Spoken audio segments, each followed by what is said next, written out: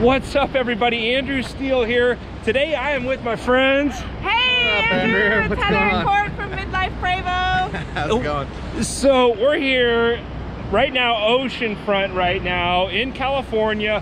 What's going on right now? Dump day. Dump slash move day. We're moving sites today. We're um, glamping, aka boondocking, here on the bluffs in Carlsbad.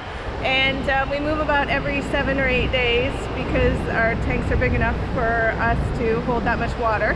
So um, we're just gonna move and um, maybe you wanna join us and see how the process is done. Awesome. Let's go see how they set up a Prevost dump. We're going to see it all. Come along. So one of the cool things and things you got to concern yourself with the Prevost slides is you have to have a window cracked or something because they are so airtight. Um, the one thing I wish they had is press a button and, and leave it, but these systems you have to hold the button down, watch the green light. If there ever is a problem in the whole sequencing that goes on, that thing will flash a certain sequence so you have an error code you can actually check.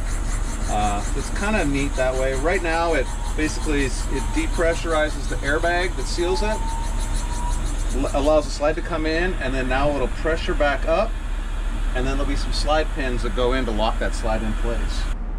And then that's done. That's so that's about a 40 second there. The back one's a smaller slide, so it probably comes in in around 40 seconds versus a minute. Come on back. Cool. And they always put them in different spots, which is a little bit challenging, but uh, this one, for example, is hidden in behind here. And It's a simple button again. I just press and hold down the in. And hopefully I don't get ran over in the process. this one you'll hear it. Occasionally I need to lift my tag. It has an air system setup, but as you can see, it's moving smoothly now.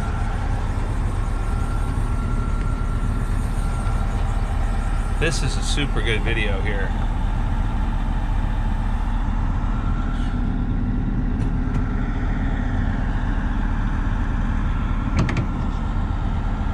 And those are the pins you move. Yeah. So you wait until you hear those pins move, and that's when it's locked in. Yeah, the uh, the control panel will actually give me a uh, the green light will go off when everything's been in travel mode, ready to roll. Nice. And that's guys all set to go. Nice. Pretty simple setup. Yeah. And the one that we always have on our checklist is to make sure to bring down the dish. We Oh, yeah. People roll down the road with the dish up. so- Has, has that ever happened to you before? Not us, but we've had to flag people Oh, down I've- on the road to say, hey. Oh, I've seen it myself. Yeah. we almost need a uh, like a white dry erase board to write down your dish is up and then stick it on the window so people Serious. can communicate. Seriously. Um, yeah. What else? What other steps do you take in the process? You slide outs in. What other steps did you take? We I literally run a, uh, a checklist on my cell phone, so it walks me through the sequence of it all. For example, we don't bring the slides in until the whole chassis is aired up. We hear the blow off, check the gauges, make sure we're at 120. Um, it's just you know make sure everything's the slides are clear. There's nothing in the way. We've had an accidental cabinet door that was a hair open and jammed, and uh, that gets a little uh, intense. That's a good word for it. Um, yeah, all in all, it's really about maybe taking a little more time. That extra step. I always try to walk around. Tire pressure monitoring system. I always turn on before I fire up, so I can kind of see where things are at. Nice. Um, just simple. Just I good practices. yeah. Absolutely.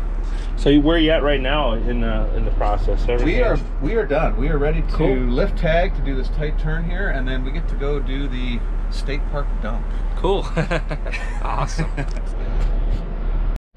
So that's kind of a aqua off, aqua hot on. We need a better system, but it's not bad. hey, it works, and it's cheap. It's cheap. One sticky note. You lose it, you're not too much of a concern. Leave, can you give me my phone? Oh. Yes. I'm not sitting on them, am I? No. Oh, here you go. You. My pleasure.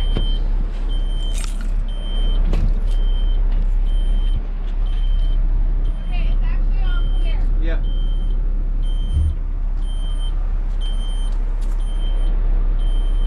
And Heather gets to be my spotter, which is always one of those interesting items if it's your wife. And that pop right there was one of the pins. Sometimes the pins don't set in perfectly. It'll scare the living crap out of you at times, but knowing it's all good.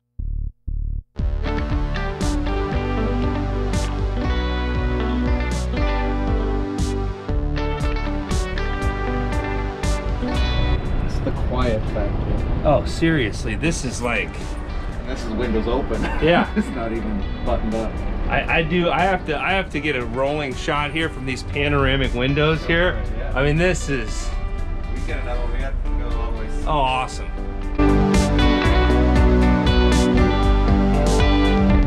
It's like so smooth, even though we're only going like like we just went over a huge pothole in the road there, and even though we're only going like 15 miles an hour, like it's so smooth. Uh, just a whole nother ball game above like my coach.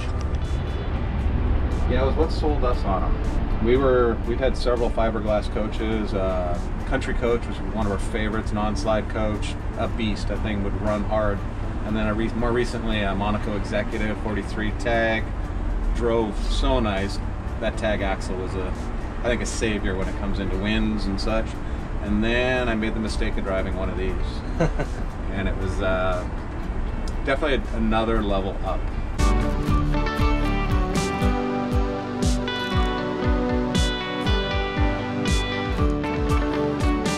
huge pothole we just went over and my coach would have um, we would have like two or three kind of wobbles and this was just like you barely felt it. Yeah, and then some of the I don't know why, but some of the interior you just hear less rattling.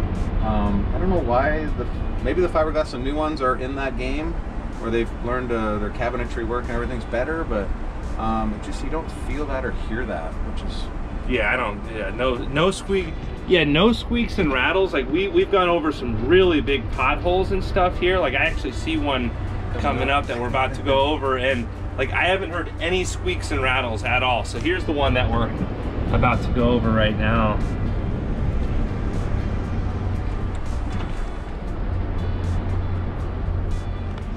Did you guys hear that? No, you didn't. and then this turn a little tight. so you just put your tag up and that's what caused the beeping? Yeah, I again, it's uh, notifying you that the tag is up so you don't accidentally drive down the road at 70 miles an hour with it in the air. But um, for me, I notice it gives me a little bit tighter turning radius, and then not to mention you don't get the rear tire scuff or your tag tire scuff as much. Totally.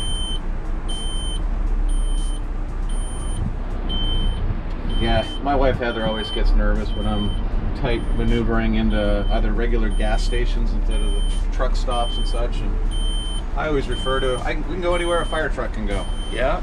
and uh, it kind of appeases her mind and maybe gives me a false sense of security as well at times. It's, us- it's usually never an issue unless you got a tow behind you, and then you got to worry about not being able to back up. Yeah. With just the coach right now, you can usually 10 point your turn, get out almost anywhere. Yeah. I say that as I'll probably button myself in here. If that happens, I'll have it on camera. yes. Full documentation. But yeah, I mean, look to your right here, Andrew. You can see the beautiful Oh, yeah. escape of the. I mean, it's just one of those spots here in California that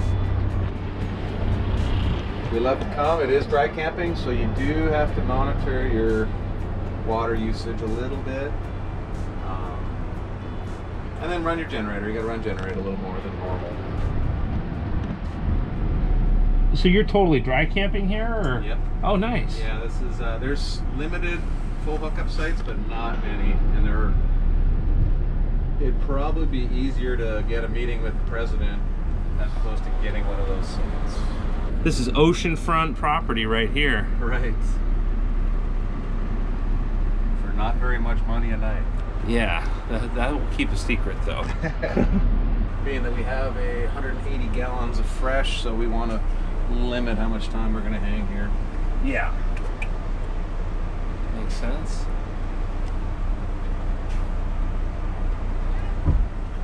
All right, Heather says right. we're good. It's time to dump. Leave that down.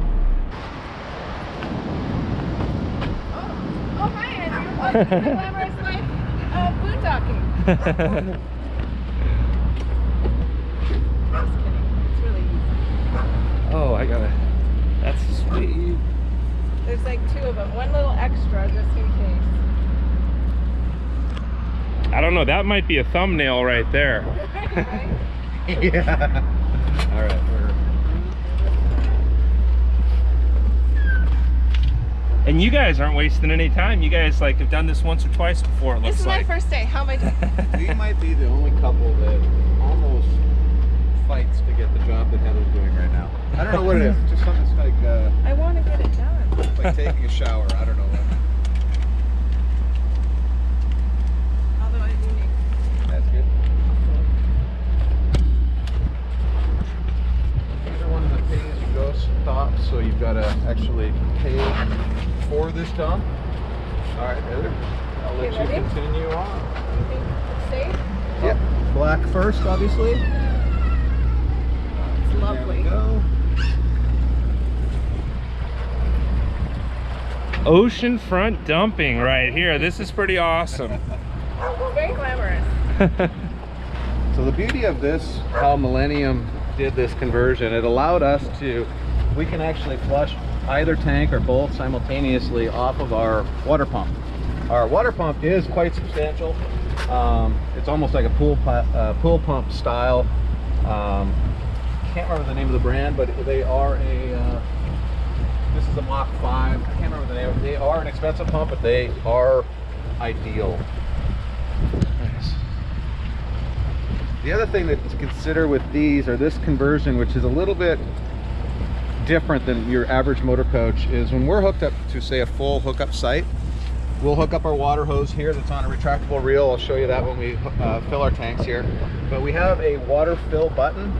So we have to hit the water fill button to fill our tanks.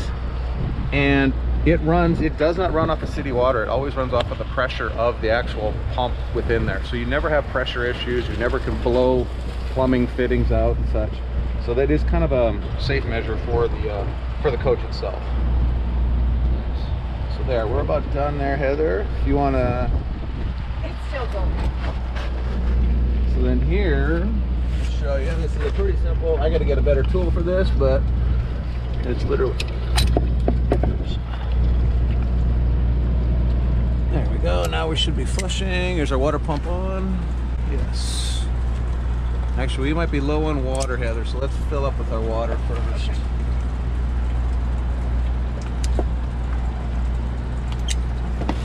Okay. 45 feet.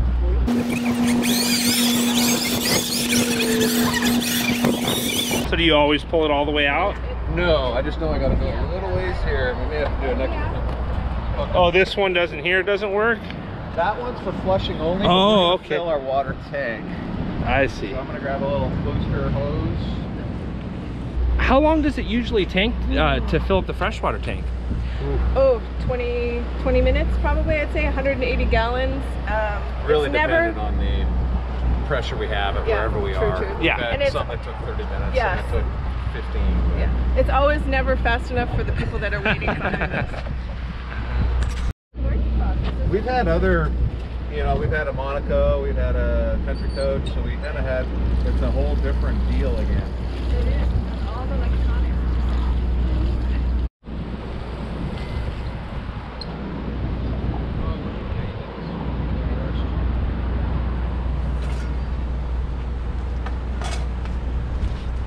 This is so awesome that you guys are letting me film you guys do the most, uh, you know. The glamorous part of glamping. yeah.